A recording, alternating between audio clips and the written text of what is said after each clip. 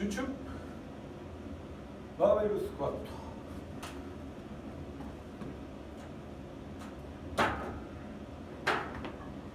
肩の肩甲骨両端肩甲ライン。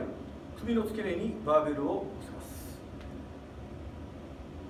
膝を曲げていきつま先より膝が出ないように注意します。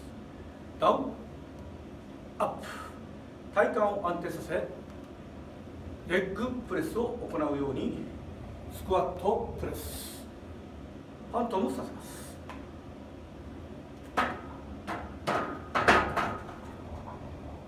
はよ。っ